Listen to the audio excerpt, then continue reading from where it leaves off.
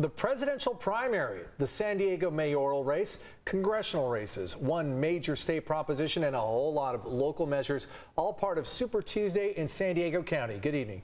Welcome to this special edition of News 8. I'm Carlo Cecchetto. And I'm Barbara Lee Edwards. The polls opened at 7 o'clock this morning, and they will remain open until 8 tonight. Let's get an update from the Registrar of Voters on county turnout so far. News 8's Lamore Abrams is live with the latest. Lamore.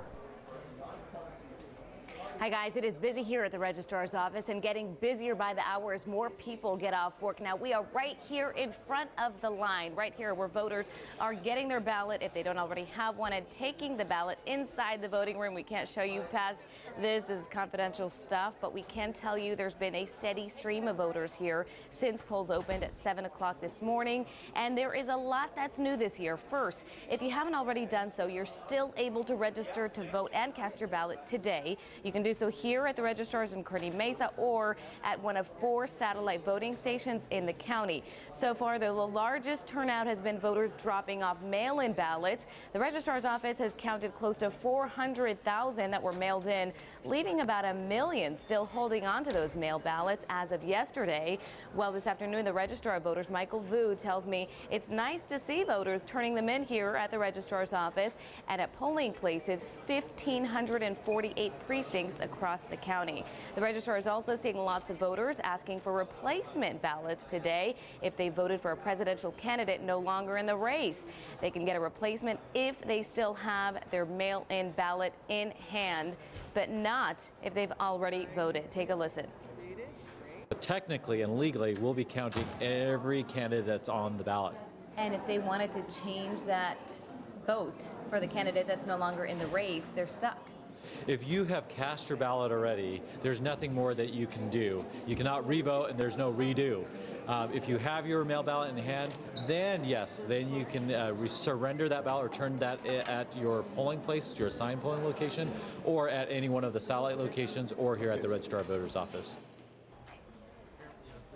And back live right here in front of the line, you'll see it's getting busy here at the registrar's office. A lot of attention on the presidential primary, but there are key local, state, and congressional races, as well as a big statewide measure on the ballot, Prop 13. And voters seem to be excited about them all.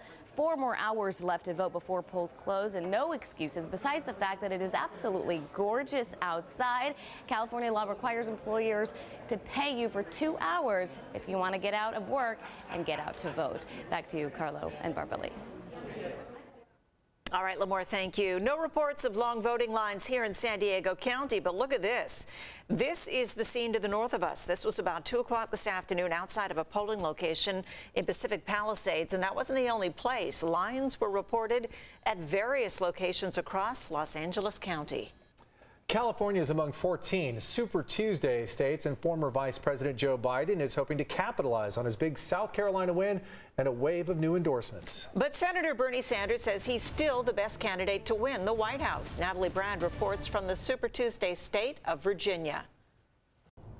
Carlo and Barbara Lee, while it will still be hours before we get a true sense of how voters across all Super Tuesday states felt about the individual candidates, we're getting an early look at what motivated them. As millions of Super Tuesday voters headed to the polls across the country, health care was a top issue on their minds, according to CBS News exit polls. But electability is a big priority, with a clear majority of voters saying they prefer a nominee who can beat President Trump to one they agree with on major issues. On the campaign trail, former Vice President Joe Biden is spending the day in California after he won endorsements from three former presidential hopefuls. Senator Bernie Sanders cast his ballot in his home state of Vermont. We have the grassroots movement all over this country. Up to now, we have knocked on, I believe, some 2 million doors. While the 11th hour departure of two candidates could start to consolidate party moderates, voters remain divided over who should top the Democratic ticket. I admire Bernie very much, and I think that he has the best shot at getting the current president out of the office. After seeing who was left, I felt like um, Joe Biden was our safe bet. Billionaire Mike Bloomberg skipped earlier contests and bet big on Super Tuesday. Now he's already in Florida, which votes later this month. You don't have to win states, you have to win delegates. Do you want a contested convention? I, I, Well, I don't think that I can win any other ways. Senator Elizabeth Warren has also hinted at a contested convention. I always figured it was going to be a long, long race and that it was unlikely that anybody was going to get a majority, although I'm out there fighting for it every day. She voted in her home state, Massachusetts, this morning. She spends the evening in Michigan, one of several states voting next week.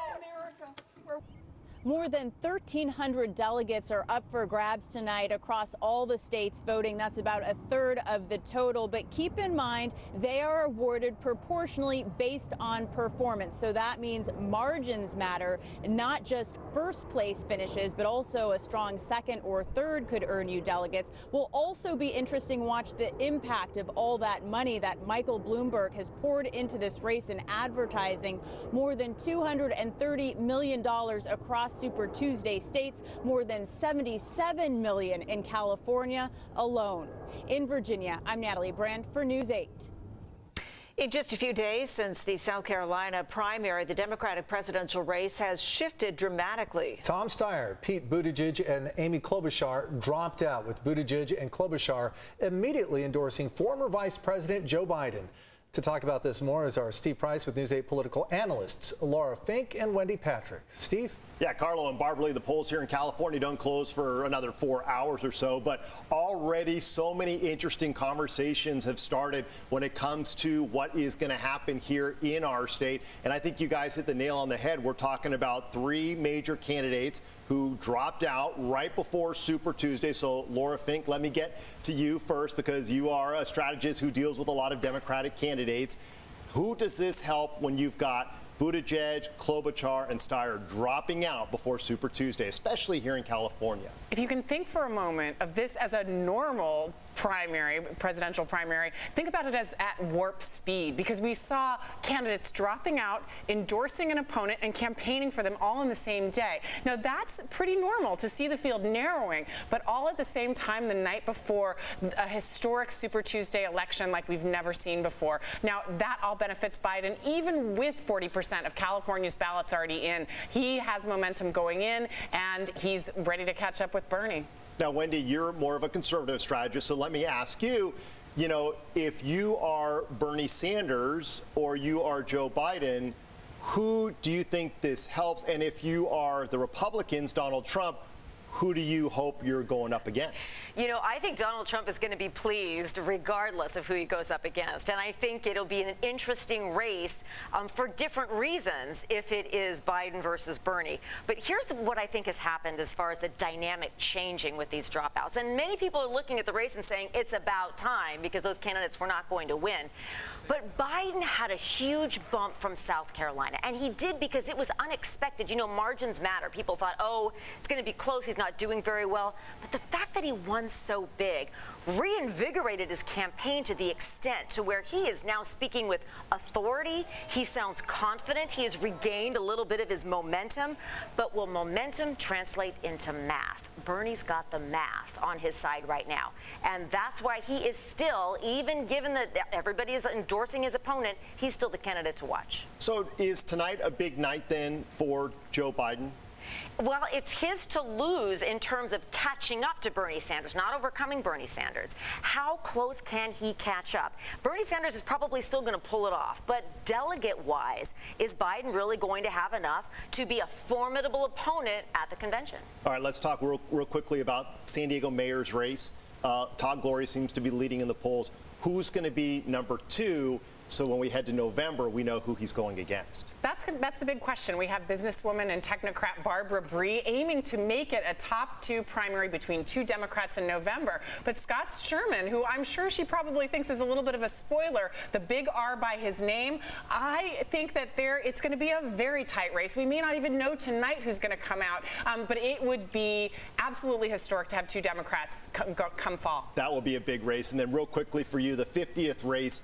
Uh, Campa probably going to get the most votes just because he's the lone Democrat. But who between Darrell Issa And Carl DeMaio, do you think is going to be number two? I got to tell you, you know, there have been few contests that have been cliffhangers in the way that this one is, for many of the reasons you that we discuss all Yeah. of the time, given the given what both of them bring to the set. So I cannot wait. I hope you ask me that in a couple of hours because once those first results come out, then I'm going to answer your Uh, question is with a little be- more confidence. It's going to be a long night for all three of us, I have a feeling. Carlo and Barbara, a long night for you guys as well, but we are ready to go. It's going to be a fun one, and uh, be sure to check back with us to hear more thoughts coming up later.